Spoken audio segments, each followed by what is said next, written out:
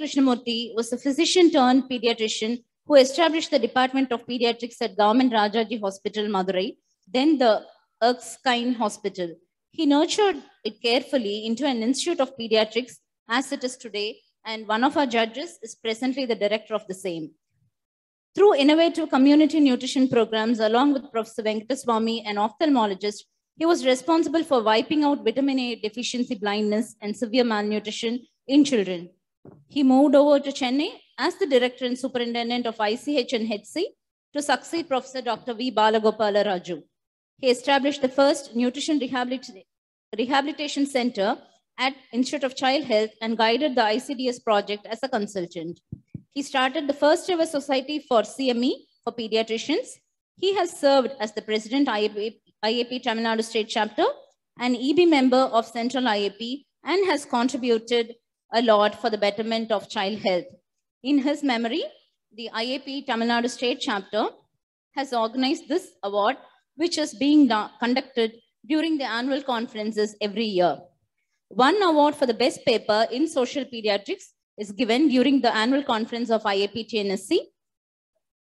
Each presenter will be given 10 minutes for presentation and will have five minutes for discussion. Kindly note that the questions are only from the judges and it will be answered by the presenter only. Prior to having this session here, we have received many papers. This time it was an overwhelming response from the postgraduates, thanks to the efforts of our office bearers. And uh, they had submitted papers for this KAK award. So these papers were scrutinized by a panel of three judges. They had been adjudged for the originality, applicability, and reproducibility, the design and methods, statistical analysis, observations and tables, discussion, and message to the community. And based on that, three of the presenters today have been selected after a very tough competition. Today, our judges will judge these three papers based on relevance of the study, methods involved, statistical analysis, validity of the conclusion, timing of the presentation, the presentation per se, the slides, and discussion and answer to the questions. So, I now request the first presenter, Dr. N. Nandini, to present her study on the prevalence of stress, anxiety, and depression among school-going adolescents following COVID pandemic.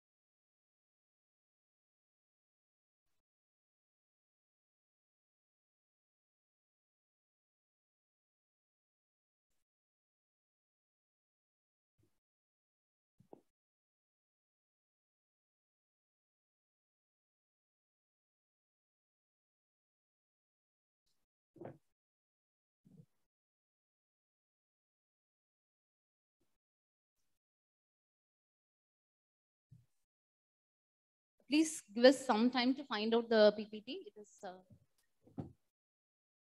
Can I call upon the next presenter, Dr. K. Manoj, to present his study on the mental health status of adolescents residing in tribal residential schools of Tamil Nadu.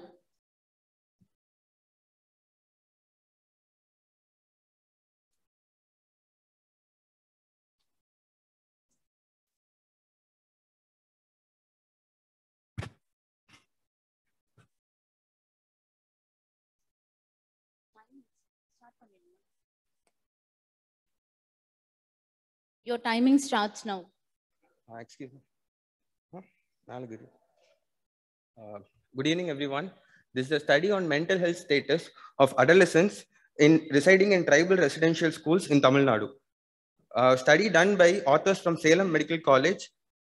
Uh, mental health of adolescents are often neglected and are grossly underreported. adolescence is a period of stress and early detection and treatment of psychological problems in adolescence is very important. According to National Mental Health Survey of 2016, the prevalence of mental health disorders in Indian adolescents found to be 7.3%. Tribal communities in India are often neglected and are prone to several diseases.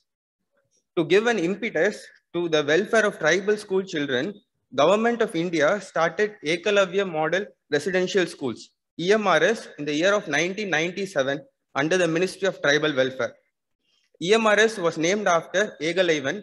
He is a character in Mahabharatam who was a jungle prince and mastered archery by worshipping Dronacharya, as we can see in this picture.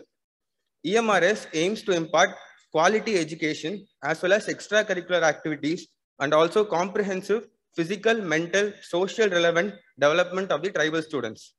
There are only very few studies available to describe the mental health status of adolescents in India.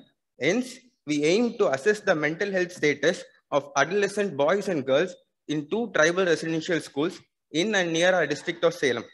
It's a cross-sectional descriptive study comprising of two tribal residential schools. All permissions were obtained for conducting the study. This is the first school we visited, which was the first started EMRS school for boys in Tamil Nadu, which is located in Vellimalai in Kalrayan Hills.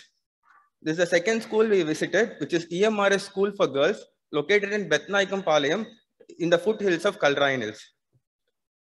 A sample size was calculated using this formula with a minimum sample size of 104 was obtained. All the adolescent boys and girls who are present on the day of the study were included in the study. The study tool which was used is Tamil version of strength and difficulty questionnaire. This is a widely used study tool. It is standardly used in several Western countries to evaluate the mental health problem in the school going children. This SDQ is much shorter and easier to use and it is available in all Indian languages. This is the Tamil version of strength and difficulty questionnaire.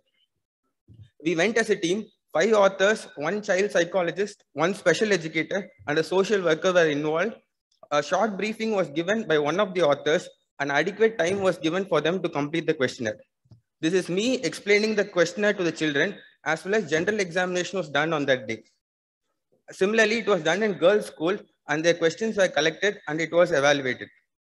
This strength and difficulty questionnaire comprises of two types of scores. The first score is a subscale difficulty score that has five subscales. For emotional related problems, the questions asked regarding whether the child is having fear, worry, or nervous all the time. For hyperactivity problem, the questions asked regarding whether the child is restless, fidgety, or getting easily distracted. For peer relationship problem, the questions asked regarding whether the child is playing alone or having no good friends. For conduct problem, the questions asked regarding whether the child is cheating, stealing, or fighting. Finally, the pro-social behavior assess the strength of the adolescents in which the questions asked whether the child is considerate or being helpful or sharing with other children. The second score is the total difficulty score, which is the sum of the first four subscales which I mentioned previously. This total difficulty score assesses the overall mental health status in the individual. To summarize SDQ for you, subscale difficulty score has five subscales. One is the emotional, second is conduct, third is peer, fourth is hyperactivity, and finally pro-social. The total difficulty score is the sum of the first four, which is highlighted in blue, which assess the overall mental health status of the adolescents. The data was analyzed using SPSS version 24. Moving on to results, a total of 141 students were included in the study. Girls outnumbered boys with a mean age of study population in 17.1 years. All the respondents belong to Malayali tribe. None of them come from primitive tribal group. In this study, 14% of study population were found to have abnormal mental health status, that is 20 students, which was calculated using the total difficulty score. Uh, moving on to subscale difficulty scores, uh, first problem is emotional problem. In that 21% of the study population were found to have emotional problem like worrying, nervousness, fear. 11% of the study population were found to have conduct problem like fighting, stealing, cheating, 11% of the study population were found to have hyperactivity problem like, uh, uh, I mean, um, restlessness. 6% of study population were found to have peer problems like having no good friends or uh, rather being, rather staying alone. fin- finally, come to pro-social behavior, which assess the strength of the individual, in which only one percentage of study population are found to be abnormal. Uh, we question the adolescents whether all these difficulties impact their day-to-day life, like learning, leisure, friendship, and home activities. We we we got 38% of the individuals uh, saying they were severely impacted by these difficulties. Moving on to gender variation, uh, the prevalence of mental health is more in boys when compared to girls, but it was statistically insignificant with a p-value of 0.234. Moving on to gender variation in subscale abnormalities, boys were found to have more problem, mental health problem when compared to girls, which on, on statistical analysis, we could, we could come to conclusion that conduct problem and hyperactivity problem were more in boys than in girls. It was statistically significant with a p-value of 0.004 and 0.019 respectively. Moving on to impact of difficulties on the life of adolescents, boys were found to have more difficulties when compared to girls. Uh, boys, the stat there was statistical significance with a p-value of 0.001. Um, all the 20 adolescents who were found to have abnormal mental health problem were referred to the psychiatric department in Salem, and they are also registered in our DEIC, and various treatment modalities were given based on their needs. Moving on to discussion, uh, the prevalence of abnormal mental health problem in EMRS school was found to be 14%, which was low when compared to several studies which was conducted in India, which ranges between 15 to 37%. This wide variation in prevalence among various studies are due to diverse study population. The problems in subscale comparison with several other studies in India, we could, we could see that emotional problems are more common when compared to all the other problems, which was similar to one another study conducted by KHO in rural population. On the other hand, uh, we, we, could we could analyze conduct problems are more common when compared to all the other studies. Uh, the interesting part in this study is that the pro-social behavior problem were low, which was similar to one another study conducted by RF Ali et al. in tribal boys in Jharkhand. The peer and pro-social behavior problems are lower in the present study. This is in contrast to all the other studies because tribal adolescents in the residential schools were found to be more socializing. They spend more time with their children. They play for a longer time with other children, whereas the children from urban population spend majority of time in front of television and in front of gadgets. Uh, stat that is a statistically significant higher prevalence of conduct and hyperactivity problem seen in boys than in girls.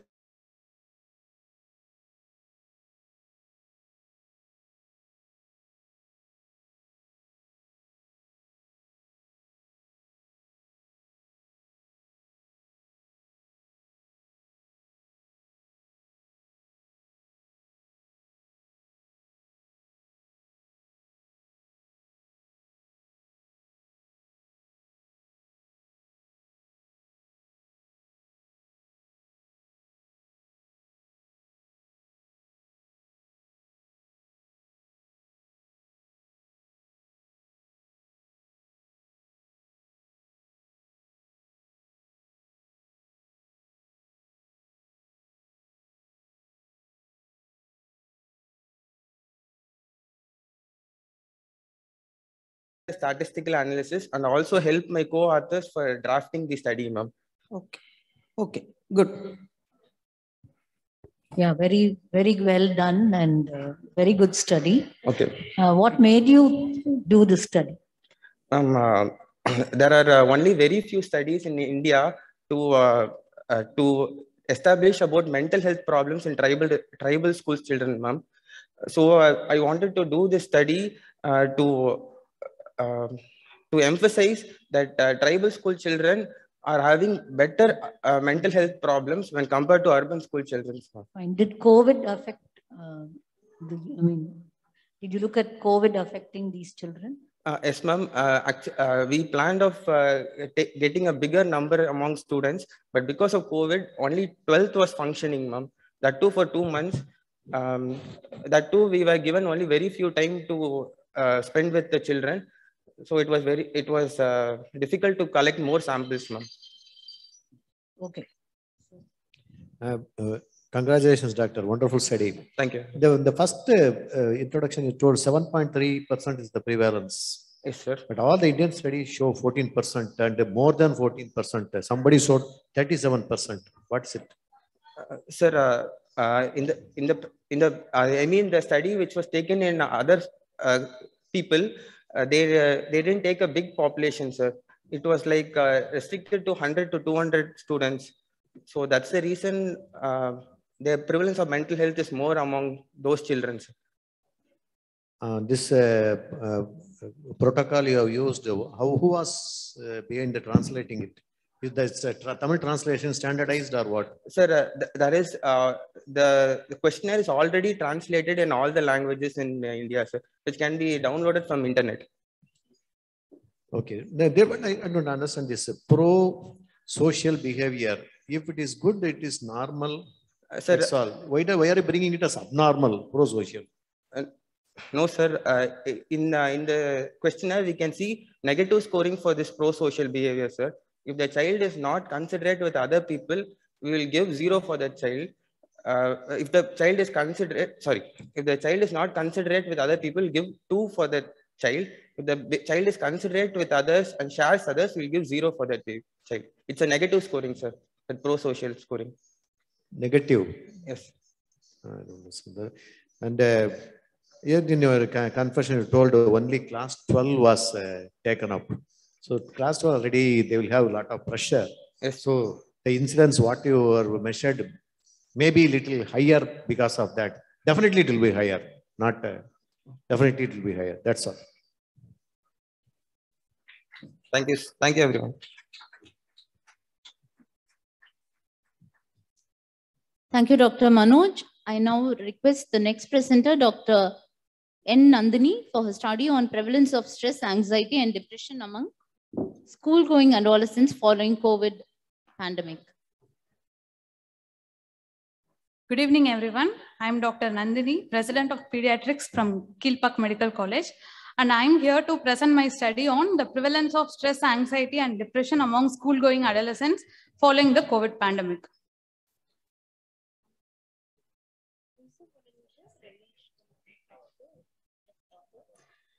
An outbreak of the novel coronavirus disease, COVID-19, has spread from Wuhan, China in December 2019, and it has become a pandemic affecting almost every continent. So as a response to the pandemic, lockdown was imposed and the schools were closed. And in our state, the schools were closed from 23rd March 2020. The COVID-19 pandemic and the lockdown has made people suffer from physical as well as mental health issues, and students are among the worst hit groups.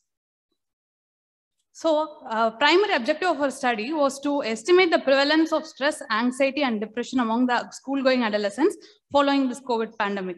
And our secondary objective was to determine whether there was any relationship between the socio-demographic variables and stress, anxiety, and depression.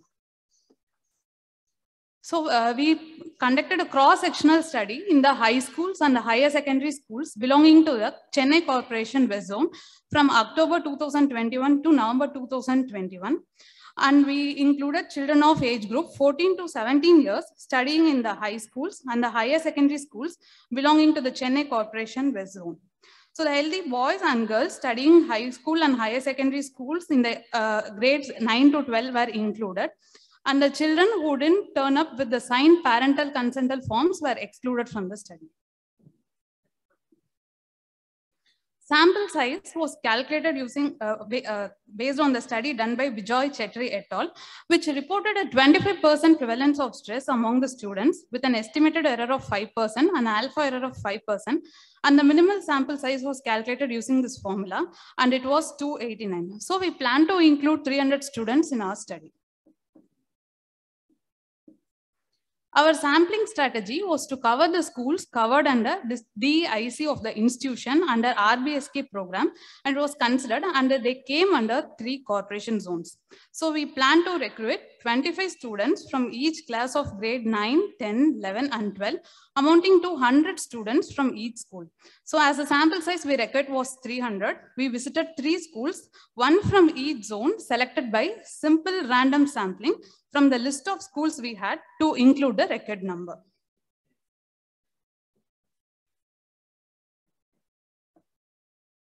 So we began the study with uh, getting a permission from our institutional ethics committee, and we approached the chief educational officer, Chennai Corporation. The- then we approached the headmaster and the headmistress of the schools we selected by simple random technique. So for, a- after getting permission from the headmaster and the headmistress, we approached the students. After, after the, on- once the classes get over, we uh, uh, gathered the students in a classroom and we briefed about the study and the parental consent forms were distributed to them. Those students who came up with the signed parental consent forms were included in the study after getting returned assent from the same children. So this is our uh, demographic questionnaire containing the socio-demographic details of age, gender, parent education, occupation, income, and the socio-economic status as per Kuppuswamy scale, the number of the ch- siblings the children had, the mode of access to education during the lockdown, their mode of recreation during the lockdown, and about the status of the peer group in their neighborhood.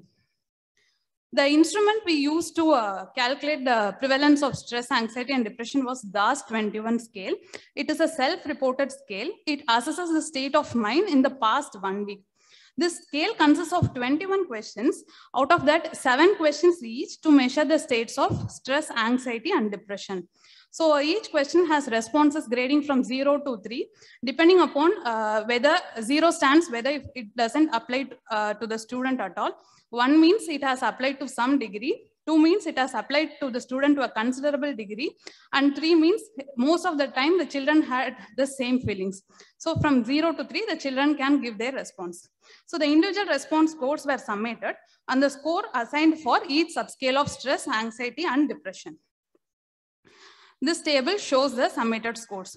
So the summated score of uh, stress, anxiety, and depression has to be multiplied by two to calculate the final score.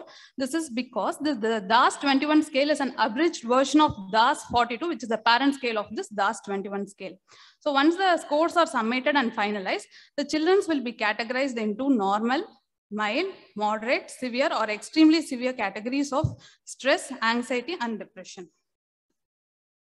Data was entered in Microsoft Excel and analyzed using SPSS statistical software version 23.0. The numerical variables were summated as mean and standard deviation and categorical variables as proportion. The outcome variable was expressed in proportion with 95% confidence interval. The relation between the outcome variable and the socio-demographic variable was determined by chi-square test and p-value less than 0.05 was considered significant. Moving on to results. So our study included 300 students with a mean age of 15.76 years. 50.7 percentage of the children were males. 15.9 percentage of the fathers were illiterates and out of them 6 percentage of the fathers were unemployed. Irrespective of this COVID situation, only 6 percentage of the fathers were unemployed. This is notable. And uh, 14.7 percentage of the mothers were illiterates. 54 percentage of the mothers were employed. 87.4 percent belong to lower socioeconomic scale. Majority of the students belong to lower socioeconomic status. 5.3 percentage of the students did not have any sibling and 22% students did not have any peer group in their neighborhood.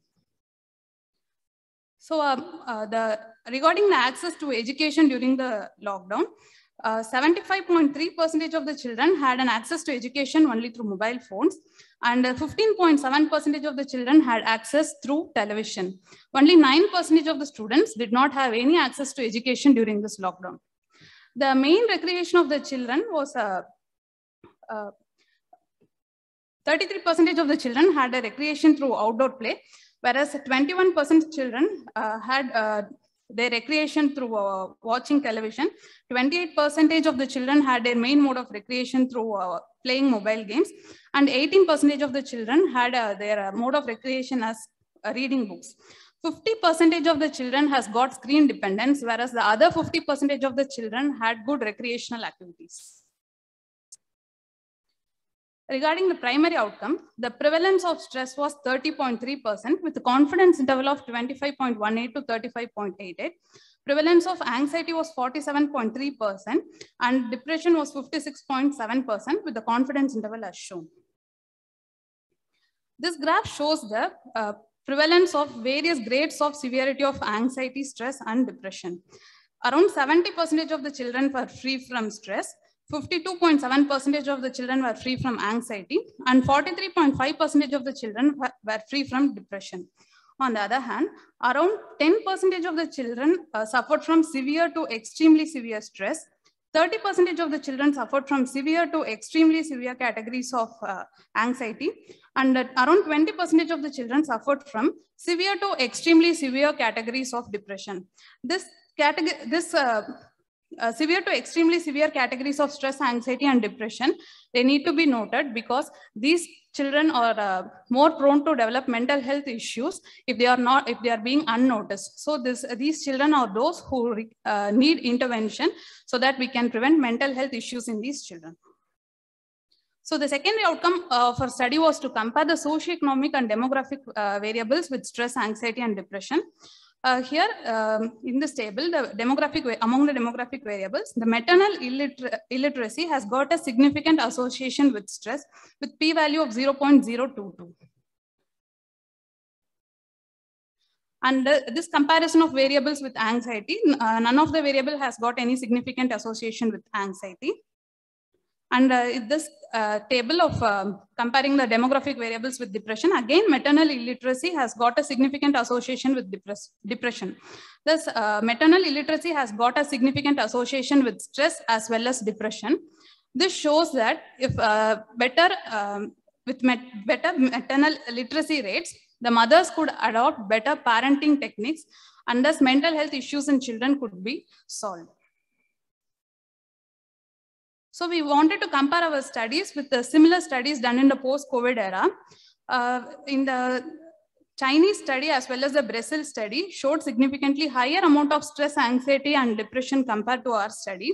Whereas another study done in our neighbor, neighboring country, Bangladesh, has shown almost similar amount of stress, anxiety, and depression compared to our study the higher uh, prevalence of stress, anxiety, and depression in China, because it is being the epicenter of the pandemic, no wonder it has higher amount of stress, anxiety, and depression.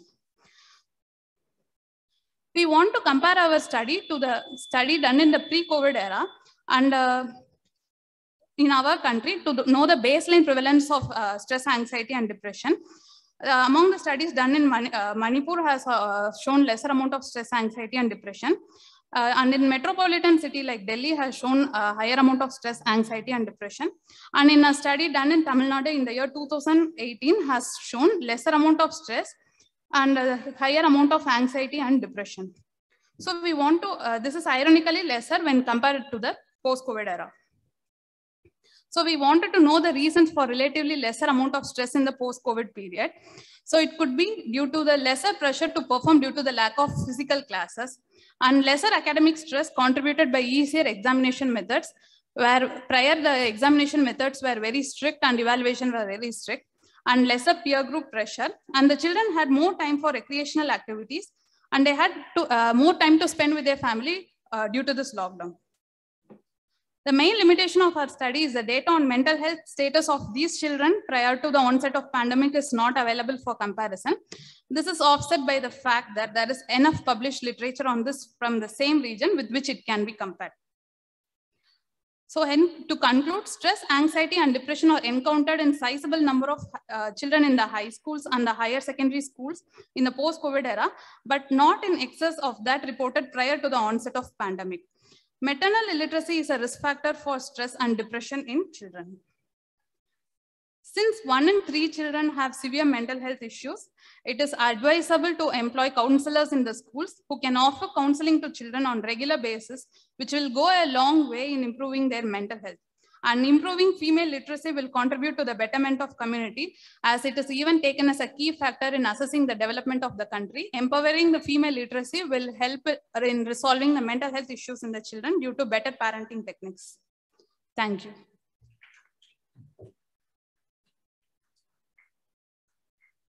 I thank my professor, Dr. Sridevi ma'am, for the guidance and the support. So um, again, a study, it's a need of the hour. Uh, you mentioned that there was no difference between COVID, uh, pre-COVID and the COVID in the rates of depression. That's what you mentioned. Did you do a comparative um, study? Ma'am, uh, the, in the pre-COVID era, the study was done in Tamil Nadu, ma'am. Study was done in? In Tamil Nadu, pre-COVID era, the study was done, ma'am. Okay, you, you did not do anything to compare before and after. Uh, we didn't do a pre-COVID study. Okay. With the similar studies, we compared. no. Random sampling you have done. Okay, good. Uh, when, when was it done? After reopening of school or you went to the uh, room, uh, houses and uh, surveyed? Where No, sir, you do? after reopening of the schools, sir. After reopening of the schools only. That is the controversial, I, I do not know how far it's less stress in children during COVID. Uh, less psychological problems to, uh, in uh, children during COVID. I don't know how far uh, you can take it. uh, because they will be always be homebound, they cannot go outside and all, but they are in better mental health. That's what you want to say. I don't know. Uh, So the academic stress was less due to uh, easier evaluation methods and they were given uh, school is a stress. Okay. Academic stress through uh, this uh, online classes and all are uh, continue to be there and it is it was actually more touch. That's what I honestly feel than a school. Okay. And uh, you said uh, uh, maternal literacy. Um, it's also once again a controversial area. Educated mothers are the one which are more demanding and they torture the children like anything. And as far as my knowledge goes, those children are the one really who have got so many psychological and psychosomatic problems than a mother, a, a village mother who is uneducated coming, bringing the child to us. That's my comment. Uh, It was a good study, doctor, and you have done, you have taken schools under DAC centers under RBSK, national program you have included.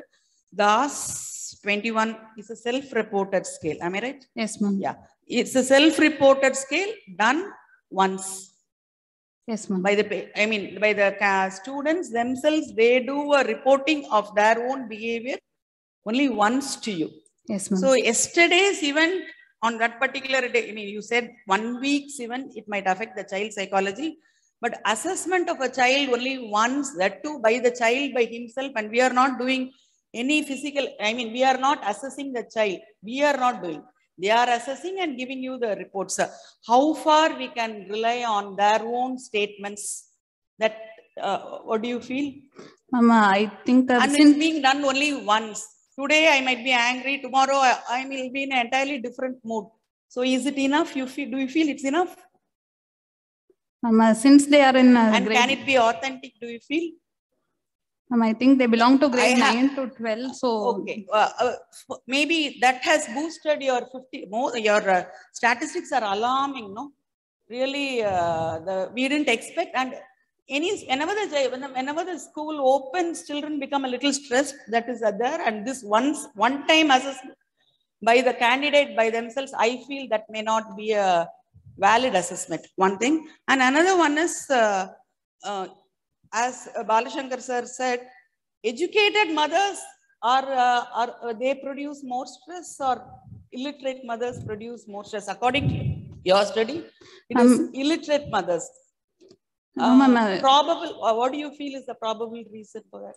Ma'am, due to online classes, and when there are so many factors that alone is a significant factor in your study. Yes, for the stress we got Un- it uh, as a they, uh, uh, I mean, uh, even an un- unemployed father is not producing stress, but uh, educate, uneducated mother is producing more stress for the child.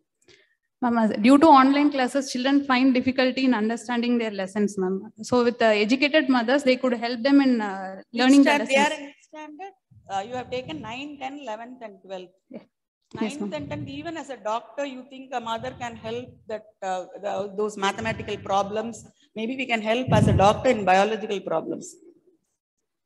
But, uh, they could at least support Okay. when compared That- to the. I mean, that is your observation. That is your Yes, observation that we can't question, but it's an observation. Okay, doctor. Thank you. Very good. Thank you, ma'am.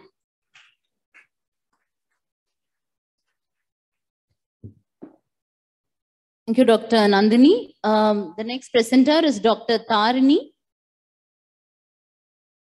Can grandmothers be guardian angels in nurturing kangaroo mother care in their homes? A comparative study of knowledge about KMC among the mothers and grandmothers.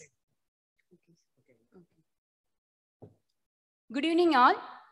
Can grandmothers be guardian angels in nurturing kangaroo mother care in their homes?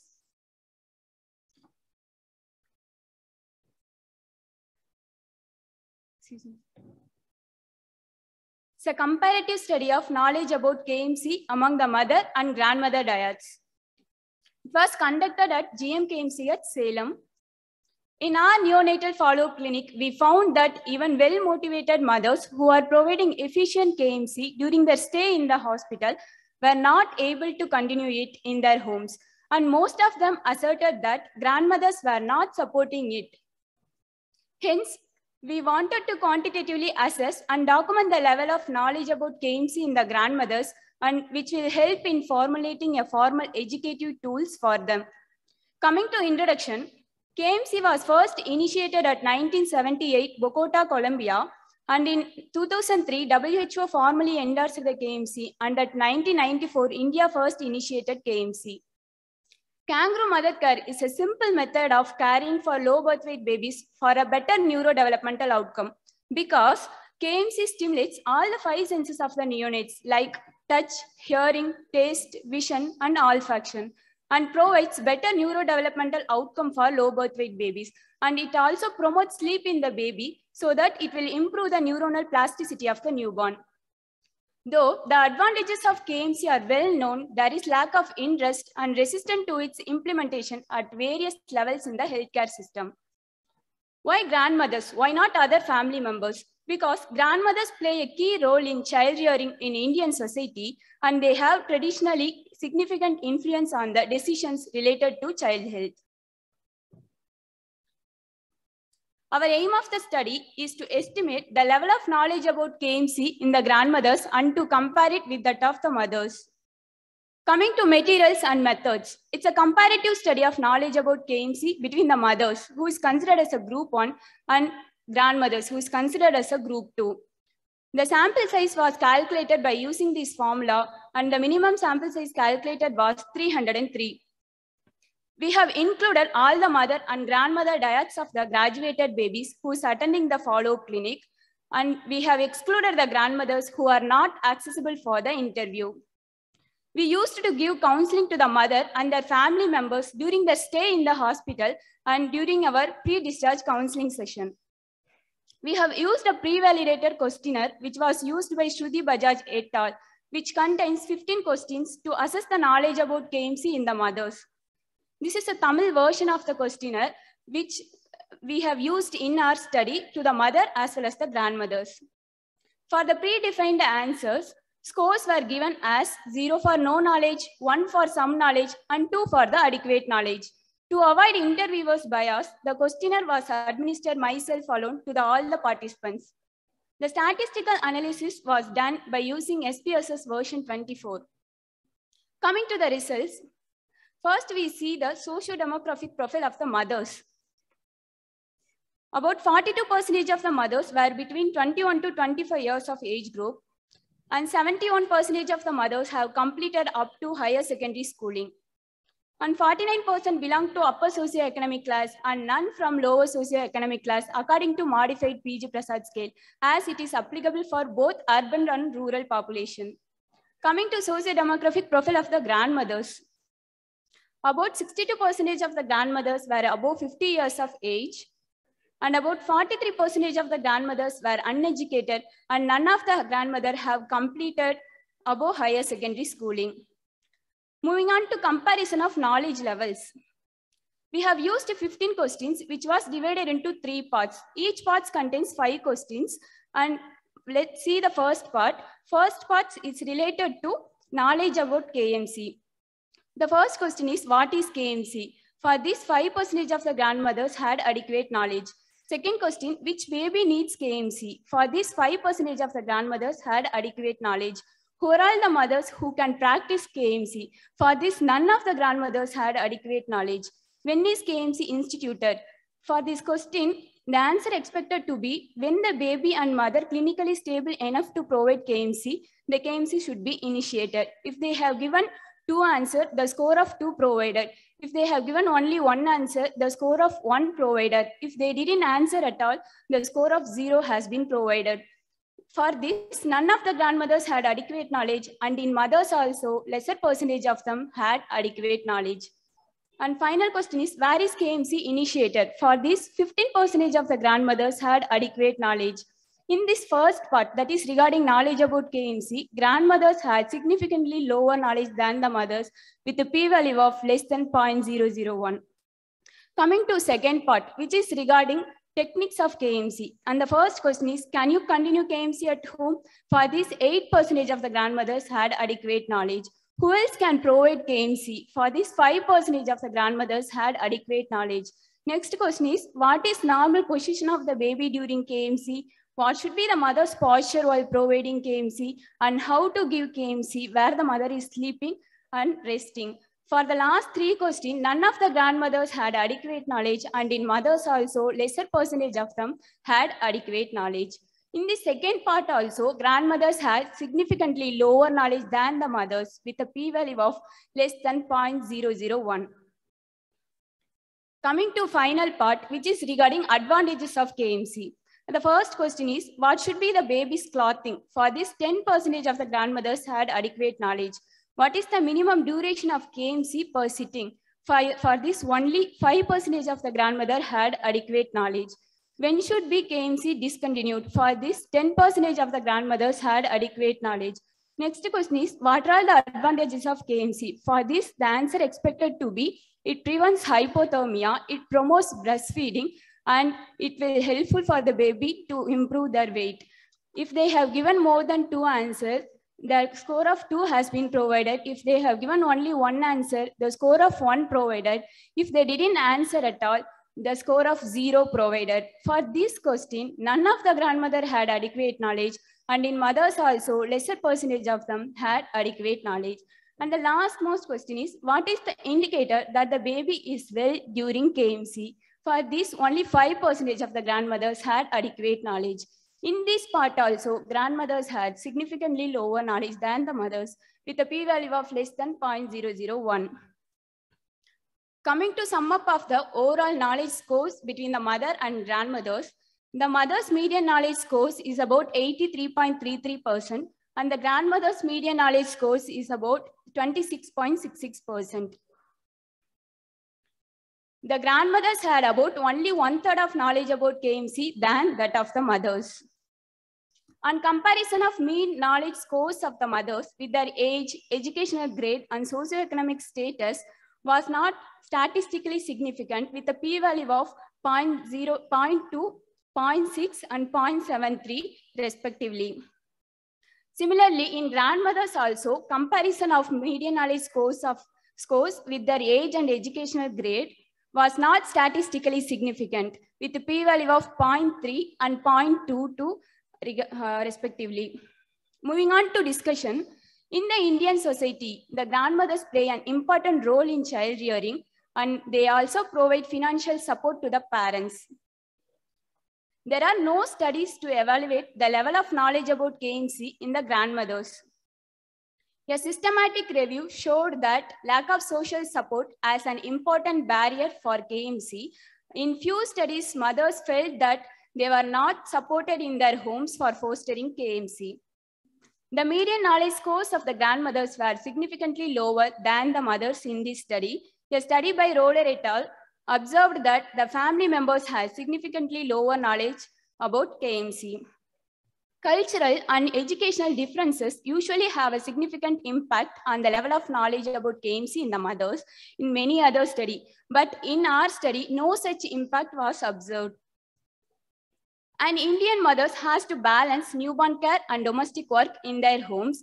But in countries where gender roles were equal, this was not an important barrier to KMC. But in countries like India, where gender inequality still exists, the support of the grandmothers who are often the decision makers in child rearing will be an important determinant for fostering home KMC. Coming to conclusion and recommendations. This study had demonstrated that the grandmothers have about only one third knowledge about KMC than that of the mothers. The existing educational tools of the KMC do not provide adequate knowledge and motivation to the grandmothers. Hence, the separate educational aids for the grandmothers are to be developed and taking into consideration their educational background and age. The provision of post-discharge home KMC is a missing link in the better neurodevelopmental outcome of low birth weight neonates. For providing the home KMC, the home milieu should be made favorable for it by empowering the grandmothers with adequate knowledge about it. The empowered grandmother will be a guardian angel in fostering KMC and nurture better neurodevelopmental outcome for their grandchildren. These are all my references. I thank our HOD sir and our chief sir, Dr. uh, Kumaravel sir. Thank you, Nandal. Thank you, doctor, for Thank an you, innovative study. Yes, sir. Um, My question was, uh, you did it in the mother dyad, what do you Yes, call, sir.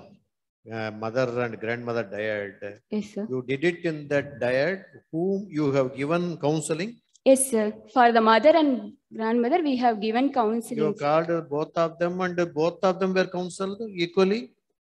Yes, sir. Uh, in uh, mother, we have we used to counsel in before initiating KMC, sir. Before initiating KMC, as You well counseled the mother. Did you counsel the grandmother? That's what I'm yes, asking. sir.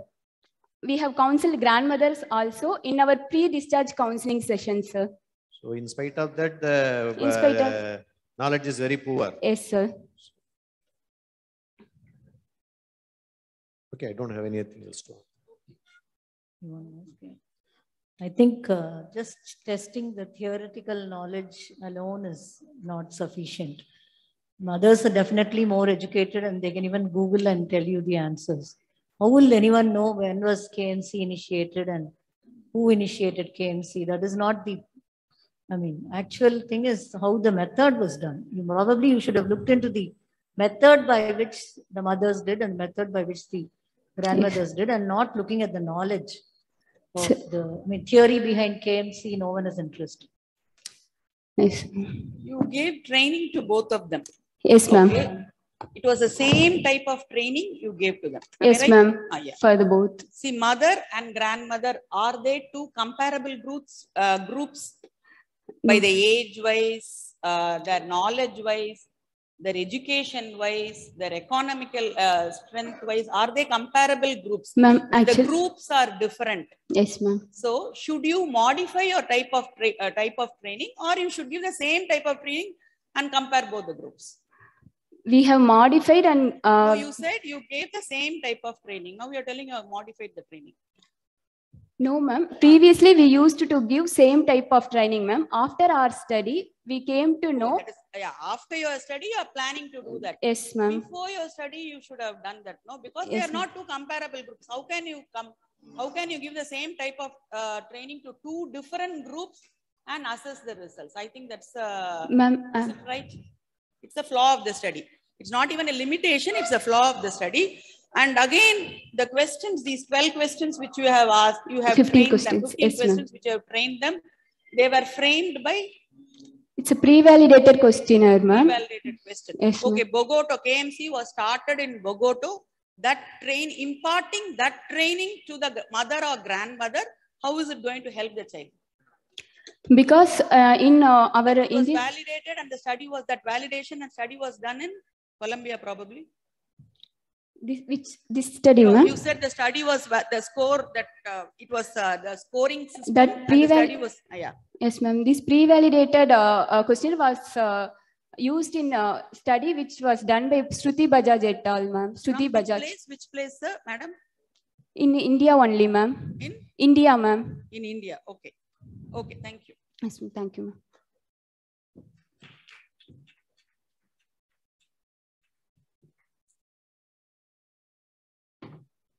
Thank the opportunity. It was an excellent presentation by all three postgraduates. And very, we really congratulate all three of you have done extremely well and we'll be announcing the results shortly. Thank you very much. I thank my co-judges, Dr. Janani Shankar and Dr. Bala Shankar. Uh, we have come to the same sort of conclusion, so we are very happy about it. Thank you, thank you. We thank the judges for uh, judging this most important award of IAP TNSC. I request our office bearers, President Dr. Muhammad Ismail, IAP Tamil Nadu State Chapter, and our Secretary Dr.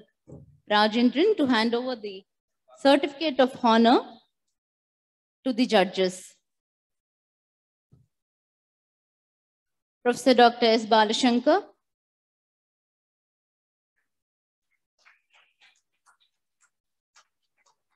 Dr. S. Janani Shankar,